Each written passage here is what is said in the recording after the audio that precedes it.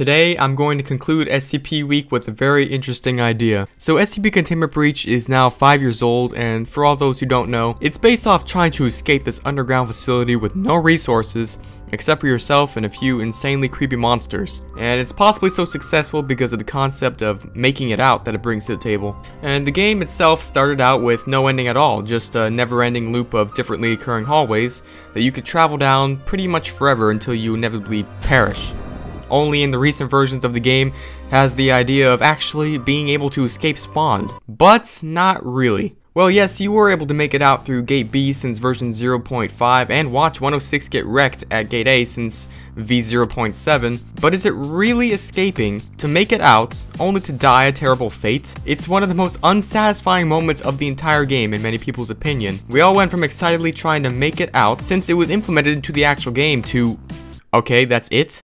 I just die? Wow, I just went through all of that and I'm killed.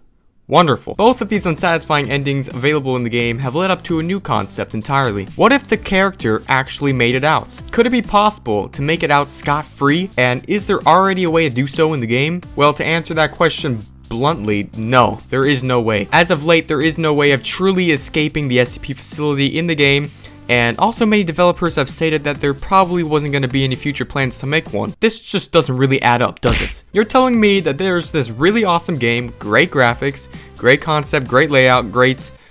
Uh, actually, well, the engine needs a little bit of work, but aside from that, an amazing game, and there's simply no way to complete it? Not a single slice of hope, no piece of freedom, no true ending. And the weird thing is, out of all the motivated modders and coders there are out there, not one mod has been released to even remotely simulate getting out alive. The game seems to be almost perfect in every aspect aside from your basic memory access violations, except for the unbelievably frustrating endings. It's almost like it was a tease that's made to somewhat troll noobs who are new to the game who think they could actually escape. And I'll tell you myself, when I first made it to the end trying to look through that fence to see what was beyond, only to find that it was simply nothing after no clipping through, it was pretty damn frustrating. Like something that was missing or supposed to be there waiting for me. So now I would like to make a somewhat formal proposal to Regalis and the crazy talented developers of SCP Containment Breach.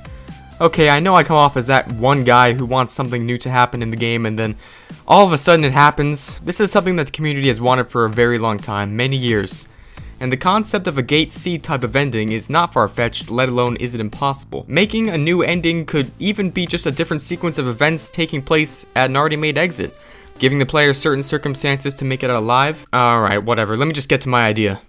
so don't laugh. Okay, you could laugh, I don't actually care. So I want to call this ending Gate Sithat.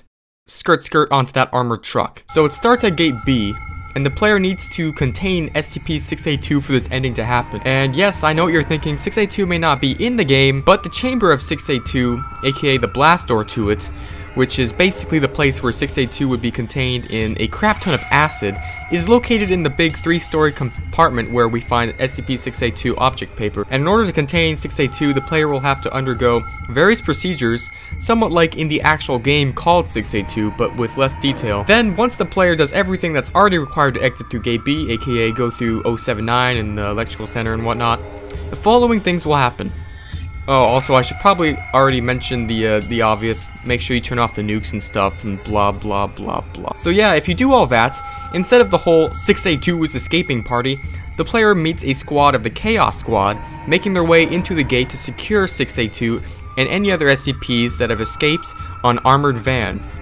If the player observes this, from the top of the walkway, so you will need to have some stealth skills and hiding in order to escape their view. And if you're successful at hiding yourself, you will notice that there is one truck that is parked outside the gate that is unattended. And during this time, the player will be given a set amount of time to get to the back of the armored vehicle and make it on before the Chaos Insurgi return. The Chaos Insurgi will return along with a few NTF units with a highly damaged and chained up SCP-682. They will have 682 on a large gurney and proceed to load it onto the back of the truck that you're on. I know, Convenient, right? Uh, and then you'll feel the truck slowly move away while you're still in the back of it. It's gonna be very dark.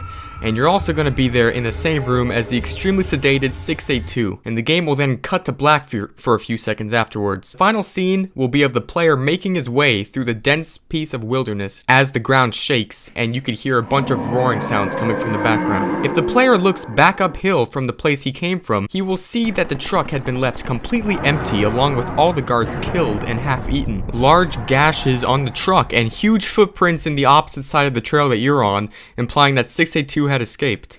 The player will then proceed a little bit further into the wilderness, downhill until the game is once again cut to black, and then this will be the final end screen. Please take this video into consideration because I'm sure the game will need a solid new engine for it to operate smoothly in the future, and this new ending would be a perfect start to that. So even if we could get something even slightly around these lines as a third ending, where you actually make it out alive, it would be a great improvement to the game. And I hope to reach out to some of the game developers about this truly because you people are absolutely amazing at developing games and you're more incapable of creating something like this, uh, maybe even far better. Either way, I would like to say to everyone, thank you so much for watching this. It's been a great week here on the channel and I wish to do something like this again soon in the future. And also, any suggestions in the comments would work too. Anyways, I'll see you guys in the next one. Goodbye.